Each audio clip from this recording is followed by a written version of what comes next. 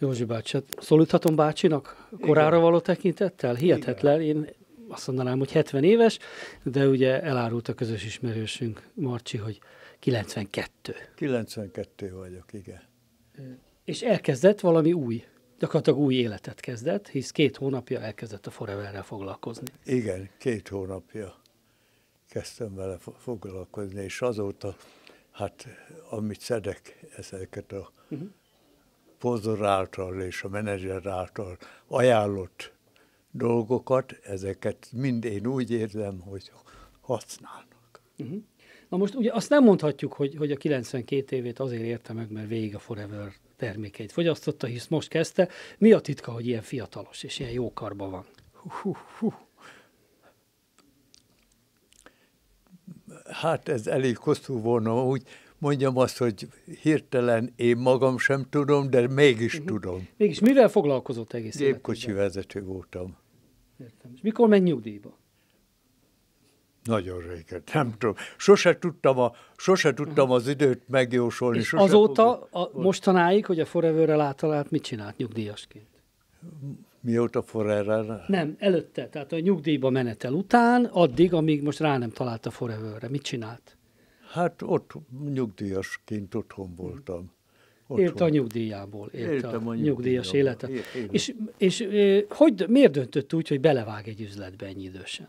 Hát tulajdonképpen a menyem a ponzorom, uh-huh. és ő ne, nagyon fájt a lábaim, nem tudtam menni, egyszerűen, vagyis hát nagyon nehezen tudtam menni, ha leültem, akkor felálltam, akkor nem bírtam elindulni, és akkor rövid, rövid utakat tudtam tenni, nagyon fájt a lábom, és a menyemmel egyszer beszélgettünk, a szponzorommal beszélgettünk, mert látta, hogy hát, hogy fáj a lábom, és uh-huh. nehezen megyek, és akkor mondta, hogy jöjjek el ide a Nefelejts utcába, hallgassam meg egy előadást, és ha úgy gondolom, akkor ajánlnak ilyen uh-huh. szereket. Ezeket. És mi az, amit a legjobban szeret a termékek közül?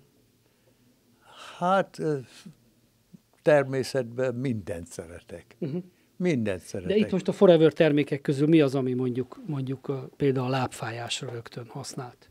Ja, azt Marika mondja, mert én tetszik tudni, én ezt mind a Marikára, a ponzoromra és a menedzseremre uh-huh. bíztam, ők ajánlották, amit szedek, és akkor, amit ahogy ajánlották, hogy szedjem, úgy szedem, de hogy mi az, fogalmam sincs hozzá. Na majd akkor Marika elmondja, és Fogalmam sincs hozzá, hogy mi az, én úgy szedem, ahogy ajánlották, és annyit tudok, hogy már az első hónapban nekem a lábaim meggyógyultak, legalábbis úgy érzem, hogy kilenc éves, kor, kilenc két éves koromba kerültem ide, a, ide uh-huh. az első, el, első adásra, és onnan most úgy érzem a lábomban, mint hogy 65-70 éves lennék. Uh-huh.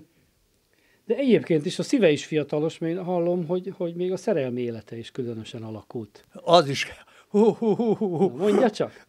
Az úgy alakult, hogy hát meghalt a feleségem, őnéki meghalt a férje, 60 óta, 1960 óta ismertük egymást, dolgoztunk együtt. Uh-huh. És akkor 60 óta ismertük. Egy hölgyel, akit Egy hölgyel, egy hölgyel, és akkor, mikor meghalt a feleségem, meghalt őnek a férje, ismertük egymást, találkoztunk össze, és összekerültünk, mint uh-huh. élőtársak.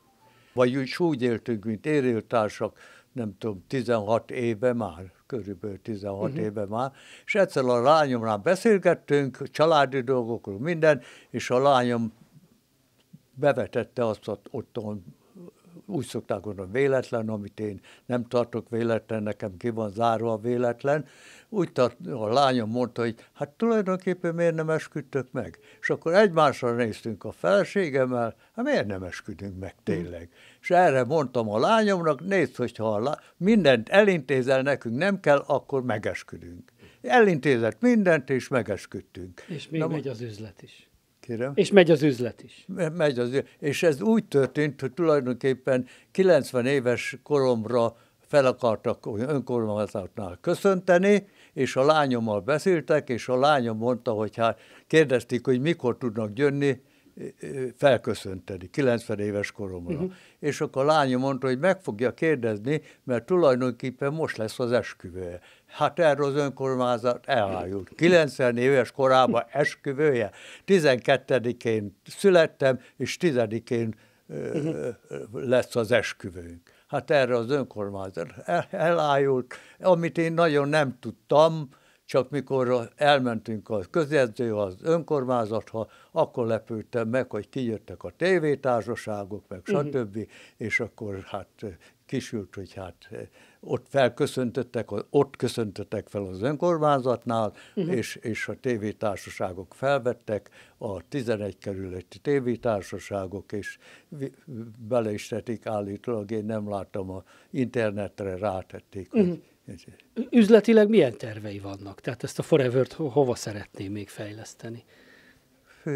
Hát nekem a tervem az, vízbi mond, ha valamikor mindig valahol beszélgettek társaságok, vagy én is benne voltam, és akkor mindig, hogyha valaki meghalt, vagy valaki mondta, hogy ennyi idős, annyi idős, én mindig azt feleltem, mindig, de csak hülyeségből, vagy nem tudom, butaságból, mindig azt feleltem, én száz évig fogok élni. Hm. Mindig ez volt a szavam. Én száz évig fogok élni. Hát addig még akkor sok terméket elfogadni, és sok, biztosan, sok ügyfelet szeret. Biztosan, biztosan. És hát, eh, hát remélem, remélem, hogy hát még élek, ha nem is százig, hm. egy jó darabig. Köszönjük szépen, és sok Mert... sikert az üzletben is. Köszönöm szépen.